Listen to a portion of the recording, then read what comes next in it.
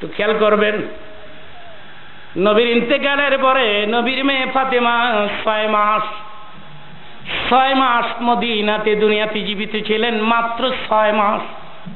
আর বেলাল আসছে সাড়ে পাঁচ মাস পর। আর কয়দিন থাকবেন তিনি? পনেরো দিন। কয়দিন? একটু খেয়াল করুন। সাড়ে পাঁচ মাস পর বেলাল আসছে মদিনার মসজিদের মিনারায় আজান।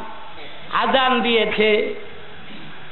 সাড়ে পাঁচ মাস ফাতিমা তো জোহরার জীবনীতে আসছে, হুজুরের জীবনীতে কথাটা আসছে।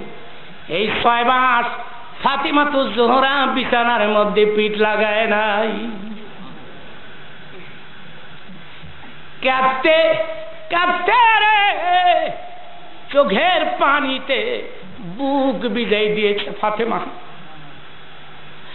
চোখ দুটা লাল হয়ে গেছে, চেহারা মরিন হয়ে গেছে গানের কষ্টগুলো শুকিয়ে গেছে। ছয় মাস খাওয়া নাই, দাওয়া নাই, ঘুম নাই, নিদ্রা নাই, শুধু বাবার জন্য কাঁদে। মদিনায় তুমি নাই, ওই মদিনায় আমি থেকে লাভ কি? হাসান হুসাইন মা মা বলে ডাকে। পার্শ্বে ঘুমোতে চায়, মায়ের বুক জড়িয়ে। ফাতেমা বলতেন, তোদের চাইতে অনেক বেশি ভালোবাসি আমি আমার বাবাকে।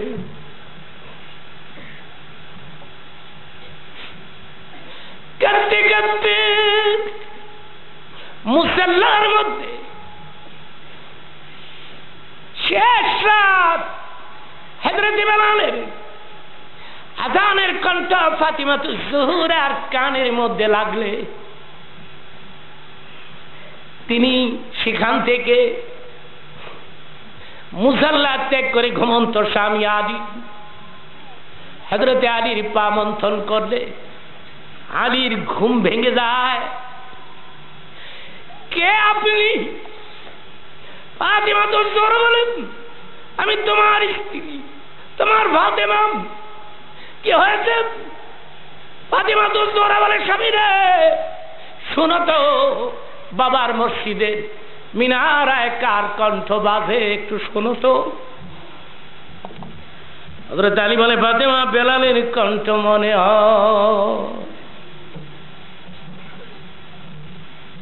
ফাতেমা বলে, তাই হবে। তোমরা না কত খুঁজেছ? বেলাল কি পাও নাই? সাড়ে পাঁচ মাস পরে বেলাল আসছে স্বামীরে আমার, তুমি তো জানো, বাবা বাবা বলে কাঁদতে কাঁদতে আমি দুর্বল হয়ে পড়েছি পনাহার ত্যাগ করে ফেলেছি, নিদ্রা বিশ্রাম ত্যাগ করেছি। আমি দাঁড়াইলে বসতে পারি না, বসলে আমি দাঁড়াইতে পারি না। স্বামী আমি দুর্বল। তুমি মেহরবানি করে আমার একটু ধরো তো। একটু ধরো, আমি তোমার কাদের মধ্যে ভর করি। তুমি আমাকে নিয়ে যাও। আমার বাবার রাউজার, আমার বাবার কবরের ধারে। তার রাউজার কিনারে আমার নিয়ে যাও। মসজিদে নবীতে আমাকে নিয়ে যাও। তোমরা না খুঁজেছ বেলালকে পাও নাই। সাড়ে পাঁচ মাস পরে বেলাল আসে। আমার মন কয়, আমার বাবাও আমার বাবাও বেলালের সাথে আসে। কিন্তু এটা ফাতেমার একটা কল্পনা মাত্র। আমার বাবাকে রেখে বেলাল কোনদিন আসতে পারে না। হজরত আলী বলে হতে পারেন, আপনি শান্ত হন শান্ত হন।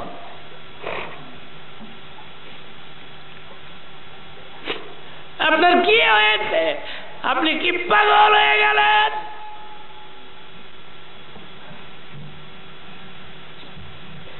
আমার ভাইয়েরা, বিলাল আজানের পরে নবী পাকের রওজার কিনারে যাইয়া চোখের পানি কান্দে আর বলে, কি নবী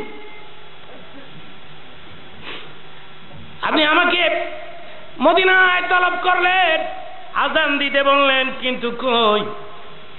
আমি আজান দিলাম, আপনি তুই ইমামতি করার জন্য আসলেন না। এ কি ধরনের ভালোবাসা? এ কি ধরনের মহব্বত?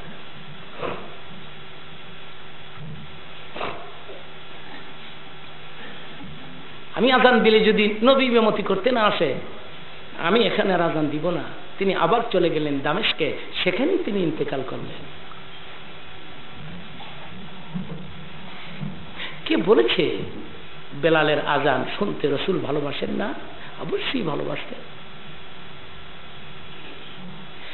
সেই বেলাল আজকে দাঁড়িয়ে বলেন দরকার হলে আমি আসান দিব না। দিনের নবীকে ঘুম থেকে জাগানো আমার পক্ষে সম্ভব না। হজরত আলী বলে, বেলাল রে, তুমি বললে আমরা শুনব না।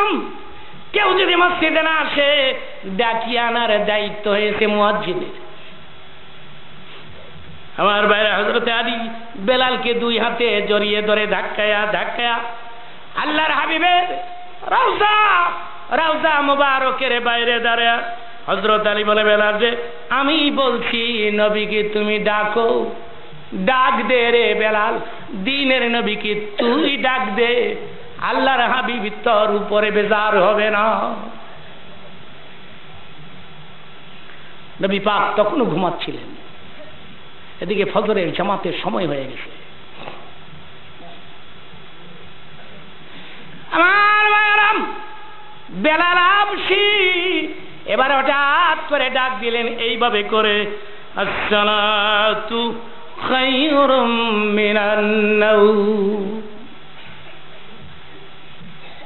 আল্লাহর হাবিবের ঘুম ভেঙে গেল। তিনি ডাক দিলেন, বেলাল বেলাল! বেলাল কয়, হুজুর, আমি ক্ষমা প্রার্থী, আমি মাপ চাচ্ছি। আমার, আপনাকে ডাকার কোনো প্রয়োজন ছিল না। কিন্তু হজরত আলী ধাক্কায় ধাক্কায় আমাকে নিয়ে আসছে। হুজুর জামাতের সময় হয়ে গেছে। আমরা কার পেছনের মুসল্লি হয়ে নামাজ পড়ব? আপনি আপনি তো বেঁচে আছেন এখনও।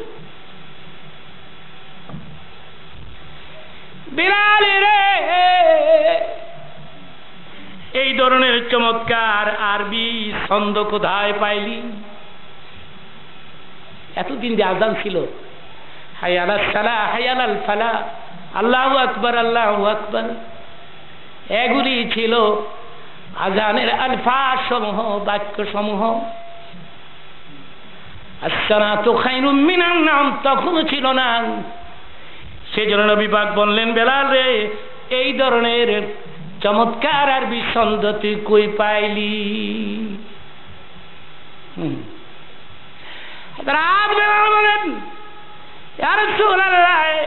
আমারও তো জানা ছিল না।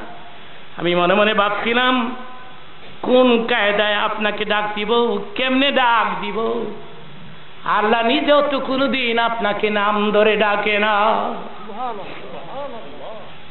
দুনিয়ার সমস্ত নবীদেরকে আল্লাহ নাম ধরে ডেকেছেন। কিন্তু মোহাম্মদ সাল্লামকে নাম ধরে آدم اسكن أنت وزوجك الجنة. أيا إبراهيم قد صدقت الرؤيا. ما تلك بيمينك يا موسى. আমি ওদিকে যাব না, এটা আলোচনার এনাদার সাবজেক্ট সুযোগ পাইলে আমি আরেকদিন শোনাবো, বলুন ইনশাল্লাহ যে কথাটা আমি আজকে বলতে চাই, সেটাই শুনুন। সেটা হলো, এ দেখেন আদম আলাই সালামকে নাম ধরে ডাকছে এব্রাহিমকে নাম ধরে ডাকছে, মুসাকে। কোরআন শরীফের কোথাও নাই, ইয়া মোহাম্মদ, কোথাও নাই। তাহলে প্রয়োজন হলে তিনি কীভাবে ডাকতেন নবীকে? এভাবে ডাকতেন। ইয়াসিন ওয়াল কুরআনিল হাকিম আপনাদের জানা আছে না সূরা ইয়াসিন আমার সঙ্গে একটু পড়ুন তো দেখি হ্যাঁ, কেমন লাগে একটু পড়ুন তো ইয়াসিন والقرآن الحكيم إنك لمن মুরসাদি।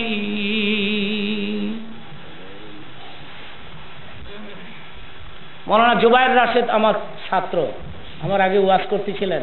আপনাদেরই দেশের ছেলে, বহুত বড় আলেম, টাইটেল এবং এম এ।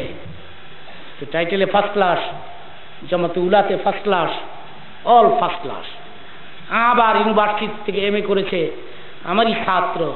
দেখতে বেশি মানায় না। স্টেজ ফিট করে না। তো ওয়াজ তো ভালোই করে মারহাবা বলে। কিন্তু আমার ছাত্র আহলে হাদিসের লোক কিন্তু আমার ছাত্র হইলে অসুবিধা আছে। এ দেখেন আমাদের মধ্যে কত মিল। শিখতেছে আমি আমি বলছি শিখতে থাকো শিখতে থাকো গাইতে গাইতে। শুনতে শুনতে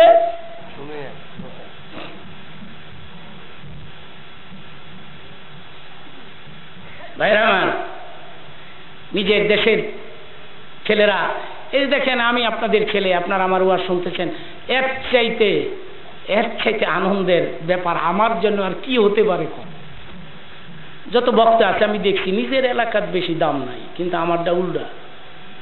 আমারটা এলাকার মধ্যেই দাম বেশি, বাইরে বেশি ডিমান্ড নাই। বাইরের লোকেরা বেশি দাম দেয় না আমারে। আমার এলাকার লোকেরা আমাকে ভালোবাসে। আর সেজন্যে অন্তর খুলে আমি আজ আপনাদেরকে দোয়া করে বিদায় দিয়ে দিব। চোখের পানি তেরে তেরে আপনাদেরকে নিয়ে মাহবুদের দরবারে তোবা করে দোয়া করব।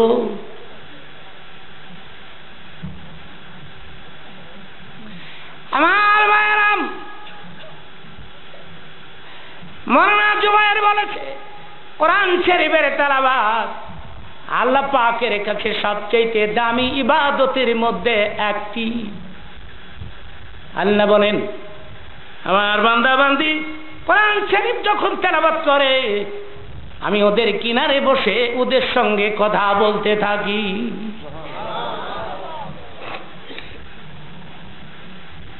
বন্ধুগণ, আবার যখন দরকার হয়েছে তাহলে কীভাবে ডাকলেন? এভাবে ডাকলেন। ত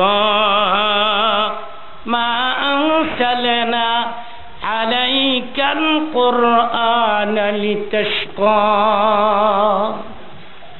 তাহা ইয়াসিন মুদাসসির মুসাব্বি ও চাদরওয়ালা ও কমলিওয়ালা চিৎকার মেরে বলেন মারহাবা। মারহাবা। নারায়ে তাকবীর। আল্লাহু আকবার। বেলাল বলেন, আল্লাহ নিজে দেখেন আপনাকে নাম ধরে রাখে না। আমি বেলাল কোন সাহসে নাম ধরে রাখি? ইয়ারসুল আল্লাহ আমারও জানা ছিল না এই ধরনের চমৎকার আরবি ছন্দ। আল্লাহ রবুল আলমিন হঠাৎ করে আমার মুখ থেকে বের করে দিয়েছে। আল্লাহর নবী বলে, বেলালে রে, যে আরবি ছন্দ দিয়ে তুই আমারে ডাকি এই আরবি বাক্য ছন্দ আগামী দিন থেকে ফজরের নামাজের আজানে দুইবার করে লাগাই দিবি।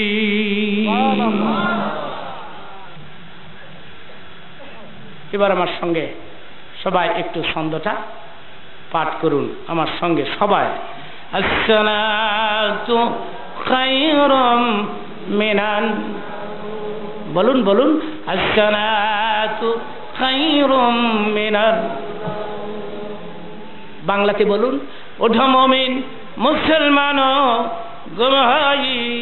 নামা অনেক মহিলারা, আমার মা বোনেরা, আমার এলাকার মা ও বোনেরা, আপনারাও আমাকে ভালোবাসেন, ছেলে হিসাবে, সন্তান হিসাবে, ভাই হিসাবে। আপনারা আমার নাম শুনে আজ এই প্রোগ্রামে এসছেন। আপনাদেরকে আমি একটা অনুরোধ করব, সেটি হচ্ছে ফজরের আজান হয়ে গেলে নিজ স্বামীরে ঘুম থেকে জাগায়া নিজের হাতে অজু বানায়া মসজিদে পাঠাই দিয়েন। মাঝে মধ্যে মহিলারা টেলিফোনে আমারে কয় যুক্তিবাদী তোমার কথা মতো শেষ সাত্রে আজানের পরে লেফের কোনার দুইটা টান দিছিলাম। বড় বড় চোখ কইরা চায়।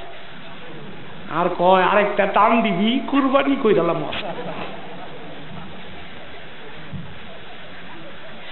আমি আবার টেলিফোনেই বলি। টেলিফোনে অনেক সময় কথাবার্তা হয় মানুষের সাথে আমার। আমি টেলিফোনেই বলি, আপনার কথা আমি বিশ্বাস করি না। ছয় সাতটার মা উইতারলেন নিজের স্বামীরে বেলা উঠার আগে মসজিদে পাঠাইতে পারলেন না। এতগুলি বাচ্চার মা হইলেন কেমনি? হুজুর, এটা এনাদার সাবজেক্ট এটা আলাদা বিষয়। না না, এটা আলাদা হবে কেন? এটা তো সেম সাবজেক্ট হবে। নিজের আছে কিতাবের মধ্যে বলছে নবীর মেয়ে ফাতিমা তো জোহরা। অধিকাংশ সময় হজরত আলীকে নিজের হাতে অজু বানাই দিতেন। সুবহানাল্লাহ কন। জোরে কন। অধিকাংশ সময় বলেছি জীবনের শেষ অজু। জিন্দিগির শেষ অজু। স্বামীরে আমার, আজকে রাত্রে স্বপনে আমি দেখেছি আমার বাবা আমাকে নিতে আসছে। সুতরাং আজকে আমি ইন্তেকাল করে বিদায় হয়ে যাব। হাত দুটা ভের করে দাও, আমি তোমারে অজু বানাই দিচ্ছি।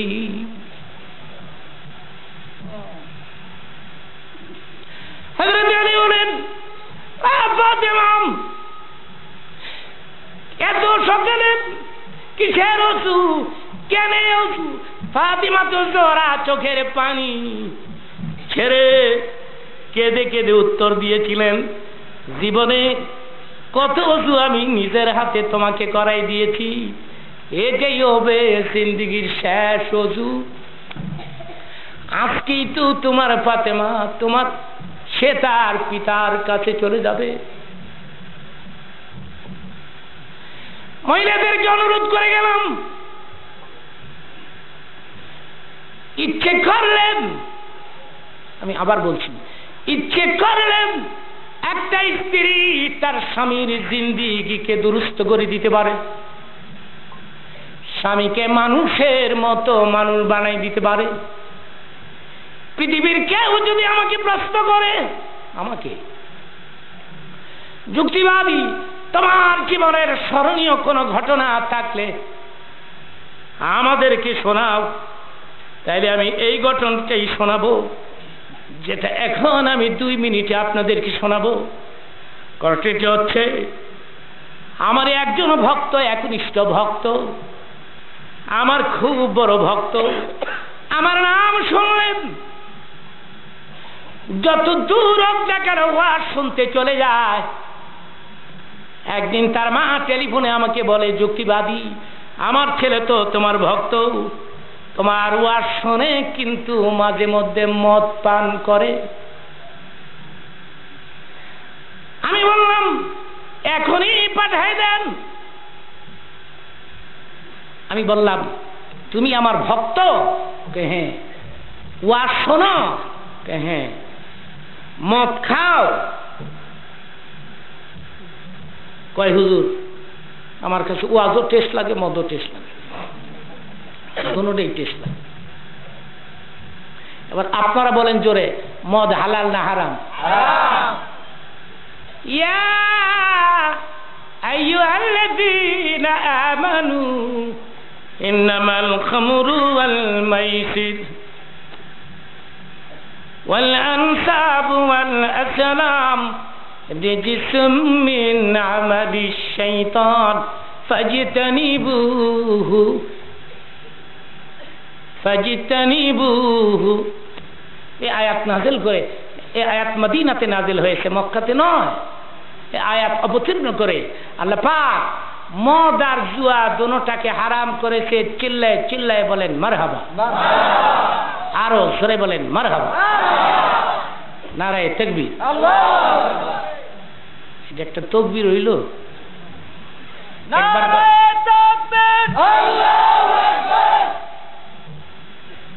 তাও যেমনটা চাচ্ছি তেমনটা হয়নি।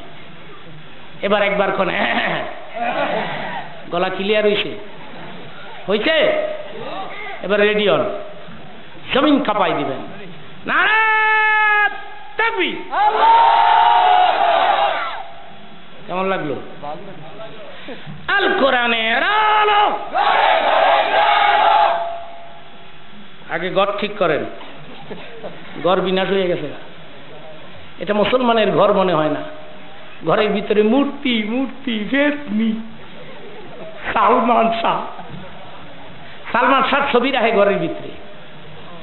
لا تدخل الملائكة بيتا فيه سورة আমার নবী বলেছেন যেই সব ঘরে মূর্তি ছবি থাকে সেই সব ঘরে রহমতের মালাইকা প্রবেশ করে না রৌসবিল্লা বলে না ঘর আগে ঠিক করেন এরপরে হয়েছে সংসদ আগে ঘর এরপরে সংসদের মধ্যে খালি টেবিল থাবড়ায় টেবিল খালি টেবিল থাবড়ায় অর্ডার অর্ডার কিছু লোকেরা বলতেছে, হুজুর শুনতেছি, এইবার নাকি নির্বাচন করবেন। কিছু লোকেরা বলতেছে আমাকে, শুনতেছি এবার রূপগঞ্জের থেকে নির্বাচন করবেন। নির্বাচন করব কেমনে? আপনারা তো আমাকে ভোট দিবেন না আসলে। ওয়ার শুনি ঠিকই, ভোট দিত না।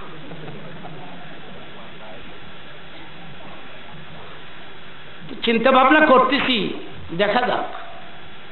আপনারা যদি চান যুক্তিবাদী রূপগঞ্জের থেকে অ্যাসেম্বলিতে কথা বলুক, সংসদে কথা বলুক, তাহলে আমি চিন্তা ভাবনা করব, দেখব।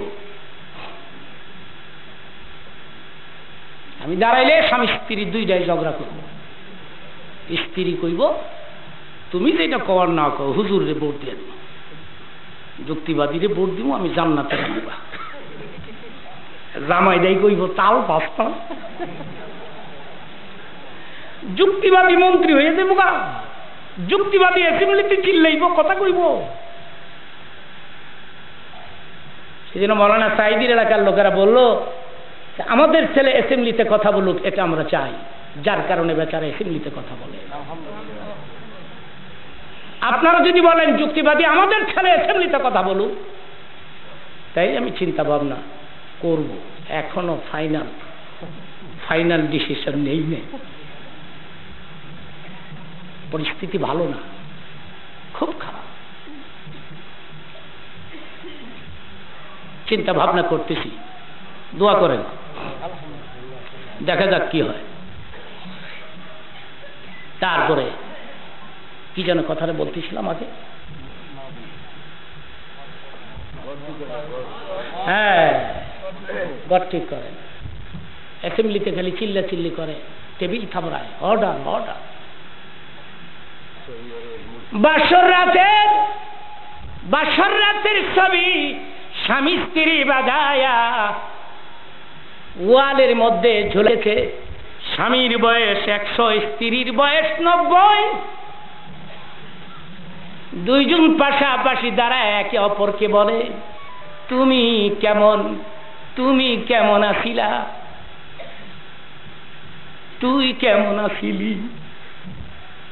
একজন আরেকজনকে কয় মাক্কু চালাইছে, মাক্কু। তুমি কেমন আছিলা? তুই কেমন আছিলি? তুমি কেমন আছিলা? কাজ হবে? জামানি কাল ফিরে আসবে? জোরে কোন আসবে?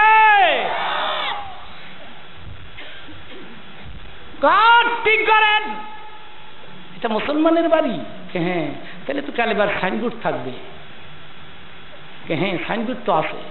কালেমার সাইনবোর্ড ঠিক, কিন্তু ভেতরে ঢুকলে কালেমার বিধানগুলো না। ডাক্তার সাহেব সাইনবোর্ডে লিখেছে এখানে, যাবতীয় সর্বপ্রকারের মেডিসিন ঔষধ পাওয়া যায়। একজন গিয়ে বলে, ডাক্তার, পেটের ব্যথার ট্যাবলেট আছে কি? নাই। খুঁজলি পেশরার মলম আছে? নাই। ক্যান্সার রোগের ইঞ্জেকশন আছে? নাই। আপনি লিখেছেন, যাবতীয় সর্বপ্রকারের ঔষধ পাওয়া যায়। তিনটি আইটেমের ঔষধ এখন পাওয়া গেল না। সুতরাং ডাক্তার সাইনবোর্ড নামান নামায় কার্ডে লিখেন, কিছু কিছু ঔষধ পাওয়া যায়। এটা লেখেন। কালেমার সাইনবোর্ড লাগাইছো। কালেমার বিধান ঘরের ভেতরে নাই। আমি বলব, তুমিও সাইনবোর্ড লাগাও, নামাও। আর লেখো, আমি কিছু মুসলমান আর কিছু মুসুরি এটা কি সম্ভব? এটা কি সম্ভব? আল্লাহ বলেছেন, ইয়া আইয়ুহাল্লাযীনা আমানু ادخلوا في السلم كافة মদ খাও হ্যাঁ মদও টেস্ট লাগে ওয়াজও টেস্ট লাগে আমার জন্য দোয়া করতে পারেন না হুজুর ওই ছেলে আমারে কয় এলাকাবাসী আমার ভাইয়েরাম জানেন এই ছেলের আমি কত ভালোবাসি কাবাগরের গেলাপ ধরে, এ ছেলের নাম ধরে আমি দোয়া করেছি। কিন্তু আমার দোয়া কবুল হয় নাই। দোয়া কবুল হয়েছে তার স্ত্রীর দোয়া। একজন স্ত্রী তার স্বামীর জন্য দোয়া করলে সেটা বেলা হেজাব কবুল হয়ে যায় জোরে কোন সুবাহ কেমন হয়েছে ছোট্ট করে বলি। ওই ছেলে নিজেই বলতেছে আমাকে, হুজুর, আমি একদিন মদ পান করে গভীর রাতে বাসায় গেছি। গিয়ে দেখি আমার স্ত্রী নামাজ পড়তেছে। আমি আবার ডিস্টার্ব করি নাই। আমার স্ত্রীকে ডিস্টার্ব করি নাই, কারণ আমি আপনার ওয়াজ শুনি না ভালো মন্দ কিছু তো বুঝি তাছাড়া সেদিন খুব বেশি মদ খাই নাই, মনে করেন চার পাঁচ বোতল খাইছি। কিছু নিশা হয়েছে কিছু হয় নাই। আপনার বলতে পারেন, মদ কেন হারাম হইল? হোয়াট ইজ দ্য কজ আমি বলি মদ হারাম হয়েছে এই জন্যে মদ খাইলে মানুষের স্ক্রু ঢিলা হইয়া যায় কথা বলার তুমি হারিয়ে ফেলে। মস্তিষ্কের ভারসাম্য হারিয়ে ফেলে। মা এবং স্ত্রীর মাঝে তমিস করার ক্ষমতা হারিয়ে ফেলে। বলতে পারে না কোনটা মা আর কোনটা ওয়াইফ। নৌসুবিল্লা বলে। এই জন্য ইসলাম এসে মদকে হারাম করেছে। আমি তখন ঢাকা আলিয়া মাদ্রাসার ছাত্র, পাকিস্তান পিরিয়ড। আমি ঢাকা আলিয়ার থেকে কামেল পাস করেছিলাম। পাকিস্তান পিরিয়ড তখন সেটা। তখন আমি পলাশি ব্রেক যেটা, পলাশি ব্রেকের একটি ঘটনা শুনো। এক হিন্দু ওটা মদ খাইতো। তো রাত্রে মদ খাই আইসা বাড়ির সামনে দাঁড়ায় বলতেছে, মা মা মা ভেতর থেকে বের হয়ে এসে বলতেছে, কি হয়েছে? কি হয়েছে? পাগল হয়ে গেলি? বউ কোথায় বউ? মাকে জিজ্ঞাসা করে, তার স্ত্রী কোথায়? মা কই বলতো ঘরের মধ্যে আছে। না, তুই বউ! সেই জন্য ইসলাম এসে মদকে হারাম করেছে। এখানে কোনো মত করে আসেন নাই, আমি জানি। এরপরেও যদি এসে থাকেন আমি হাত তুলবো এখন আপনি চোখের পানি ছেড়ে কাঁদবেন তৌবা করবেন আল্লাহ রব্বুল আলমীর বলেছেন قل يا عبادي الذين اسرفوا على انفسهم لا تقنطوا من رحمة الله إن الله يغفر الذنوب جميعا ইন্নাহু হুয়াল গফুরুর রাহিম। আমার প্রশ্নের উত্তর দেন। একসাথে আল্লাহ কি ইচ্ছে করলে আমাদেরকে মাফ করে দিতে পারেন? চিল্লায় বলেন পারে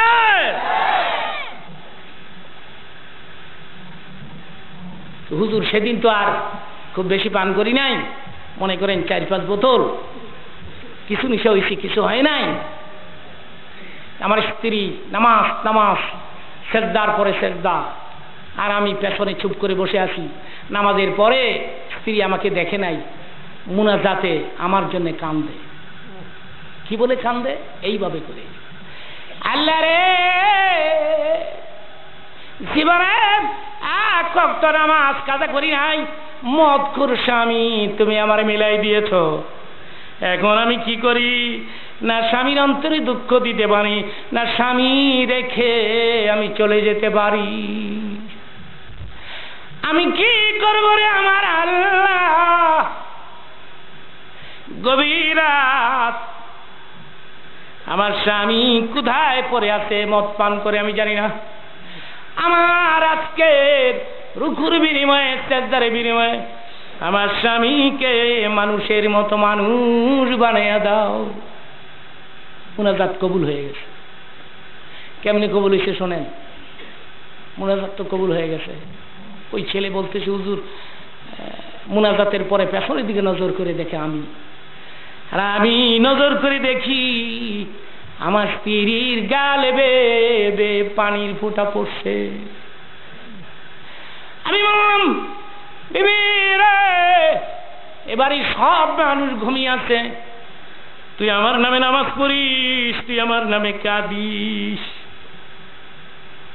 এবারই সব ঘুমায় তুই আমার জন্য কাঁদিস। বিবিরে, এত ভালোবাসিস তুই আমাকে। আমার কিনারে আসরি বিবি। আমি কথা দিলাম জীবনে, কোনোদিন মদের বোতল হাতে নিব না। ওই ছেলেটা এখন পাঁচ সপ্তাহ জামাতে নামাজ পড়ে মার হাবা বলে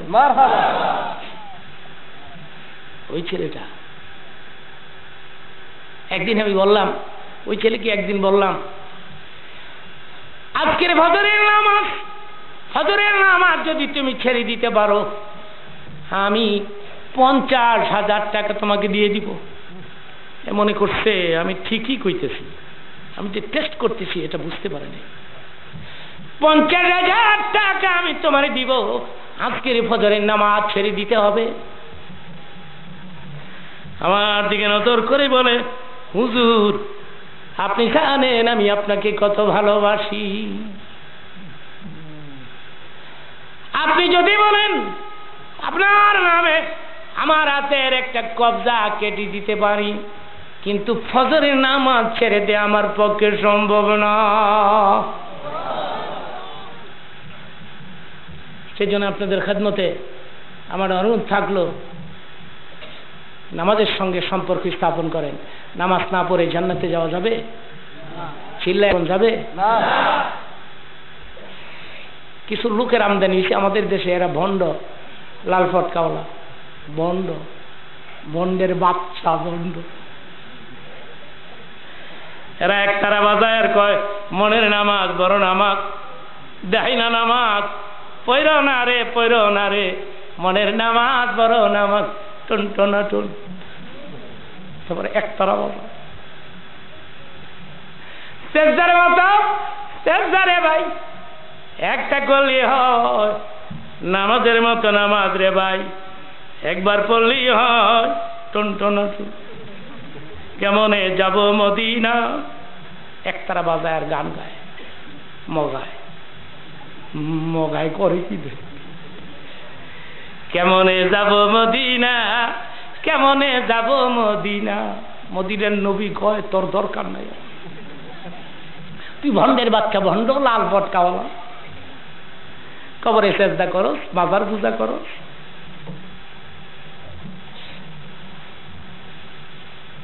ভাইরা আমার, একবার এক ভণ্ড, এবার ছয় মন ভানি লাগে গোসল করতে। ছয় মন আরে এক তারা বাজায় কয়, নামাজের মতো নামাজ একবার পড়লে হয়। আমি কইলাম, এক কাজ করো, এর হাত পাও বাইন্দা, রোমের ভিতরে তালাবদ্ধ অবস্থায় রেখে দাও এক সপ্তাহ খাউন টাউন দিও না। যখন কইব খিদা লাগছে খাউন চাই খাউন চাই, তখন তোমরা বাইরের দ্বারা একতারা বাজে বের কইবা। খাওয়ার মতো খাওয়া একবার খাইলে হয়, টন টন টন।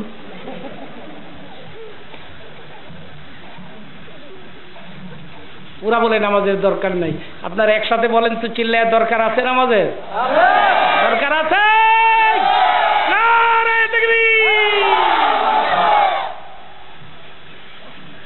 আমি এখানে আসার পরে, এই যে সংগঠন, কি নাম এটা? মানব কল্যাণ।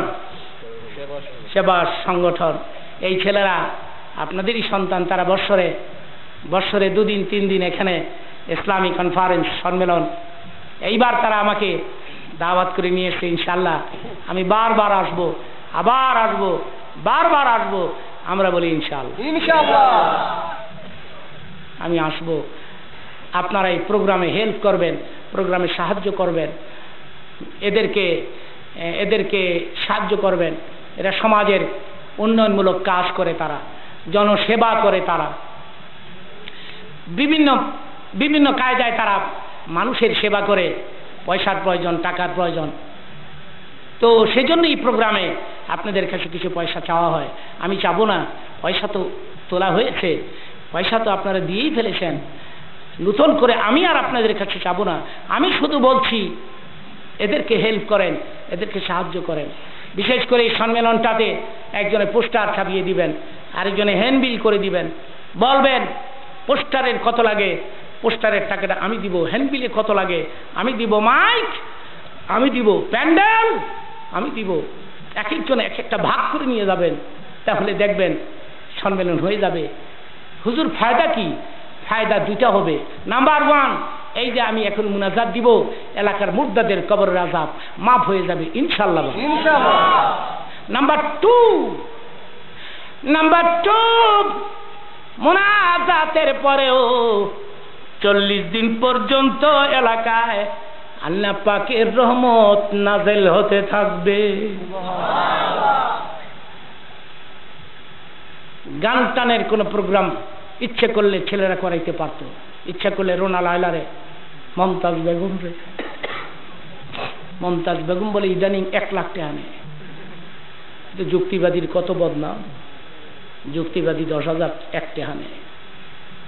মমতাজ বেগমের বদনাম হয় না কে? ওইটা কইতারেন না? চায়ের দোকান বইয়া। চায়ের দোকানে বইয়াছে কুট কুট কুট কুট করেন ওইটা কইতারেন না? মমতাজ বেগম এক লাখ টাকা নেয়। যুক্তিবাদী তো দুই লাখ নেওয়ার কথা। এই লোকগুলো মমতাজ বেগমের প্রোগ্রামে যাবে? যাবে? মমতাজ বেগমের বাপেরও ক্ষমতা নাই। মমতাজ বেগমের কাছে যায় কারা যারা তিন নম্বরের মানুষ। থার্ড ক্লাস আর আপনারা হয়েছেন ফার্স্ট ক্লাস বলেন মার হাবা যারা বলেন মার হাবা যুক্তিবাদীর এত বদনাম। আসলে এক শ্রেণির লোক আছে, এরা মৌলবীরা পয়সা নেই এটা চায় না। মৌলভী ধনী হয়ে যাবে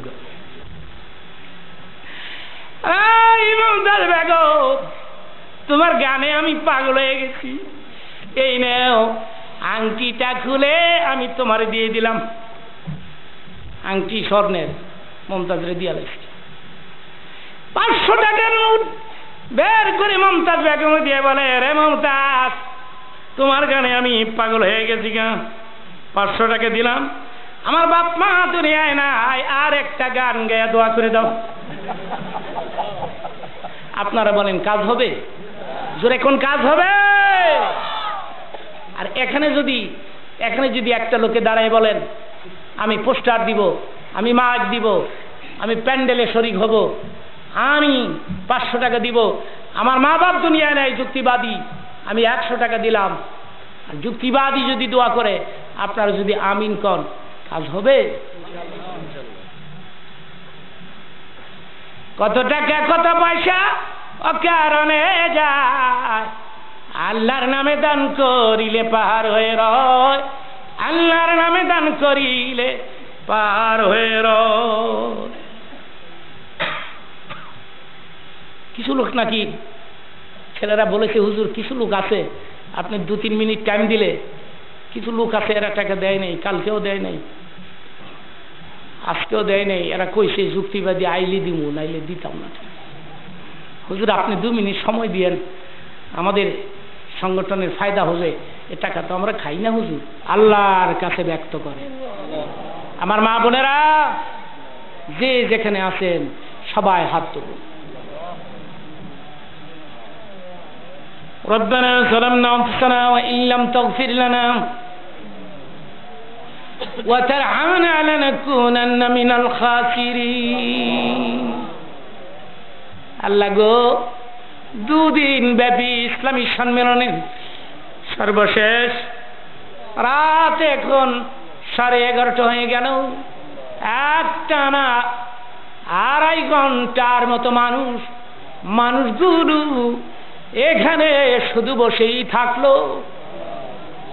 আবার মুনাজাতের আগে তুমি যাকে যেমন তৌফিক দিয়েছ, দান করল। এরা দান করল, বসে থাকল, কষ্ট করল। আমি গুণাগার মানুষ, আমার চাইতে বড় অপরাধী প্রোগ্রামে কেউ নাই। কিন্তু আমার সঙ্গে আলেম ওলামা আছে, হাজি গাজী, মাদ্রাসার তালমুল এলেম মাসুম ছেলে মেয়েরা একটা ছেলে ডিস্টার্ব করে নেই। একটা ছেলে নড়াচড়া করে নেই, একটা ছেলে একটু শব্দ উচ্চারণ করে নেই। আল্লাহ গো, ও আল্লাহ, এখন আমি গুণাগার মানুষ। বুক ভরা আশা লইয়া এলাকাবাসী ভাই বোনদেরকে সাথে করে তোমার দরবারে হাত তুলেছি। এতিমের এতিমের মতো কাঙ্গালের ভেসে তুমিও আপনার গলনে কে করবে? তুমি ঘমানোর গলনে কে করবে? বলে দাও রে আমার আল্লাহ। তুমি সারা আপন বলতে আমাদের আর কে আছে? আমরা জানি নাই নাই নাই। আমরা জানি নাই। আমরা জানি তুমি আমাদের বড় আপন। আল্লাহ তুমি বলেছ বন্দারে মনে যাতে কাঁ দিলে আমি তোরে মাফ করে দেই। কেন জানি আমাদের চোখে পানি নামে না। অন্তর শক্ত হয়ে গেছে, কলিজা শক্ত হয়ে গেছে। তুমি বলেছ লাগে। কাঁদলে আমার রহমতের দরিয়াতে জুস মারে। আমি তখনই তারে ক্ষমা করে দিই। হজরত পথ দিয়ে যাচ্ছেন। তিনি শুনতে পাচ্ছেন পাথর গান। সল্লে আলা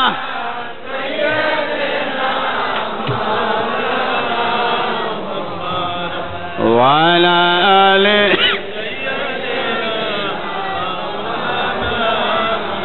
اللهم صل على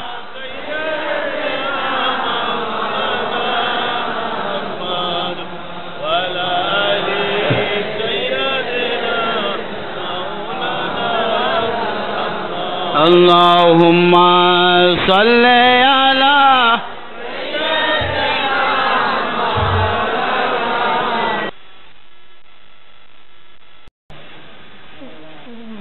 আল্লাহ বলে দিলেন, মুসারে, পাথরকে বলে দাও, আমি তাকে ক্ষমা করে দিলাম।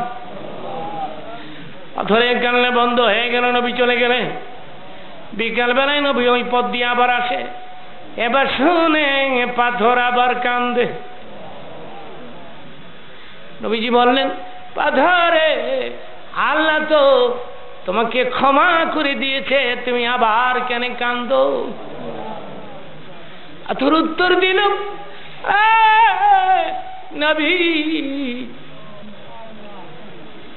কান্নার বিনিময়ে যখন আমি ক্ষমা ক্ষমা পেয়ে গেলাম, তখন আমি বুঝতে পেরেছি কান্নাটা আল্লাহর কাছে প্রিয় কাজ। এতদিন আমি দুজুকের আগুনের ভয়ে কেঁদেছি। আজকের থেকে কেমন পর্যন্ত আমি আমার আল্লাহকে খুশি করার জন্য কাঁদতে থাকব। আল্লাহ গো, যদিও আমাদের চোখে পানি নাই কান্দে না মুখের মতো, মুখটা দেখা করে রাখলাম, দিবানি, আমাদের মাপ দিবানি। আল্লাহ গো, সংগঠনের সমস্ত সদস্য আমি রেখে গেলাম এদেরকে তুমি দিনদার বানিয়ে দাও। এই সম্মেলনে টাকা দিল পয়সা দিল চাঁদা দিল যারা এদের এদের চাঁদা তুমি কবুল করে আনো আগাম আগামীতে প্রোগ্রাম বিশাল আকারে আবার কবুল করিয়ালো আল্লাহ। গো। আল্লাহ গো অনেকই তো অসুস্থ দোয়া চেয়েছে। প্রধান অতিথি, অসুস্থ প্রোগ্রামে আসতে পারেন এই দোয়া চেয়েছে। আল্লাহ গো, আমরাও তো অনেকে অসুস্থ, তুমি সুস্থ করে দাও। সুস্থ যদি না থাকি, তাহলে কেমনে তোমার ইবাদত করব? আল্লাহ রে, এগুলি তো আমার এলাকার মানুষ। অনেকের সাথে আমার আত্মীয়তার বন্ধন রয়েছে। জীবনে বহু মুনাজাত করেছি। কোন মুনাজাত কবল সে জানি না। আজকের এই মুনাজাতটা তুমি বিরোধ দিও না। আল্লাহ আমাদের মধ্যে অনেকের মা নাই, অনেকের বাপ নাই। কত মানুষ মা মা করে ডাকে, বাবা বাবা করে ডাকে। আমরা মনে কি মা বাপ ডাক থেকে কিরো বঞ্চিত হয়ে পড়েছি? জনম দুঃখিনী মা মানায় গৃহেদার, সংসার অরণ্যতার, দেখিনে মায়ের মুখ মুছে যায় সব আল্লাহ গো, দুনিয়া ঘুরে ঘুরে দেখেছি। মায়ের চাইতে, পিতার চাইতে বন্ধু নাই। দশ মাস দশ দিন পেটের মধ্যে বোঝা বইছে মায়ের কলিজার মধ্যে লাথি মেরে জনে আসি। আজকে ওই মায়ের? ভিন্ন করে দিয়া শ্বশুর শাশুড়ির বছরে দুইবার, তিনবার দাওয়াত করে পোলাও পাকে গোস্ত পাকে। একই বাড়ি, দক্ষিণের ঘরে ছেলে, শ্বশুর আর শাশুড়িকে নিয়ে পোলাও গোস্ত খায়। উত্তরের ঘরে মা কান্দে রে। মা কান্দে। বাপ জিজ্ঞাসা করে, জানালার দাঁড়ে দাঁড়ে কেনে কাঁদিস পোলার ঘরের দিকে তাকে তাকে কেনে কাঁদিস? মা উত্তর দে, আমি কান্দি। দেখি আমার সন্তান আমার খবর লয়নি। কিন্তু না না, শ্বশুর শাশুড়ি খাওয়াইয়া, নিজে খাইয়া ঘরের পেছনের দরজা দিয়ে চলে গেছে। ছেলে বাজারে চলে গেছে। মায়ের ঘরের দিকে নজর দিল না। মা, কান্দে রে। মায়ের চোখের পানিতে বুক বিজলো মাটি বিজলো মা কাঁদলো আর কইলো, পোলারে, আগে যদি জানতাম, এইভাবে বলবি। জীবনে কোনো দিন পেটে বোঝা বইতাম না।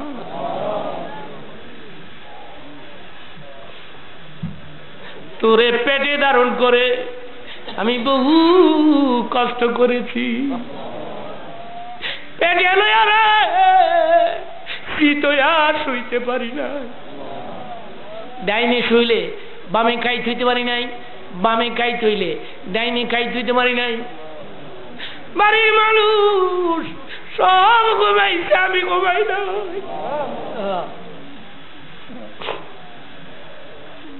আমার কলিজার মধ্যে লাথি দিলি, দুনিয়ার মধ্যে আইলি। আমার গায়ের কত রক্ত জমিনে গাইল। আজকে আমার বইলে গেলি? আজকে আজকে তোর শাশুড়ি আপন হইল। আজকে তোর শ্বশুর আপন হইল। আল্লাহ গো যাদের বাপ মা নাই এখন মাফ করে দাও। যাদের বাপ মা আছে হায়াত লম্বা করে দাও। জীবন ভর মা বাবার খেদমত করতে পারি তবে দাও। আল্লাহ এদেশে তুমি শান্তি প্রতিষ্ঠা করে দাও। বোমার আতঙ্ক। আল্লাহ যারা বোমা মারে তুমি এদের হেদায়ত নসিব করে দাও। সরকারি দল বিরোধী দলের মধ্যে মহাব্বত পয়দা করে দাও। এই দেশে কোরআনের আইন প্রতিষ্ঠা করে দাও। আয় আল্লাহ। বহু প্রোগ্রাম নিয়ে একটা প্রোগ্রাম মিস হইলে কলঙ্ক হয়ে যায় আল্লাহ। আয় আল্লাহ, স্বাস্থ্য সুস্থ রাখো আওয়াজকে আরও সুন্দর করে দিও। আজকের মতো লম্বা লম্বা সময় বাইদের খেদমত করে মুগ্ধ করতে পারি, সেই শক্তি তুমি দিও। আল্লাহ, এই এলাকার থেকে আমার জানাশোনা অনেক আলেমা বিদায় হয়ে গেছে আল্লাহ। এদেরকে তুমি জান্নাত বাসী করে যারা বেঁচে আছে এদের আয়াস লম্বা করে দাও। আমরা মিলে মিশে চলাফেরা করতে চাই। আমরা এক হয়ে বসবাস করতে চাই। আমাদের ভিতর থেকে অহংকার বিদ্বেষ কিনা বগুস এগুলি দুয়ে মুছে সাফ করে দাও। ছেলে মেয়েদের নেককার বানায় দাও। আল্লাহ রে! আর একটা কথা বলি বিদায় হয়ে যাই। আমি গুনাগারের সঙ্গে যারা হাত তুলেছে এদেরকে তুমি সোনার মক্কা মদিনা দেয়ারত নসিব করে দাও? মদিনা রে ও মদিনা। মদিনায় যদি না যায় গুমের ঘরে স্বপ্নে একদিন রসুলকে দেখায় দাও। যেদিন মরব রে সেদিন তুমি মেহরবানি করে আমাদের জবানে জারি রেখে দিও না। ইল্লাল্লাহু মুহাম্মাদুর রাসূলুল্লাহ।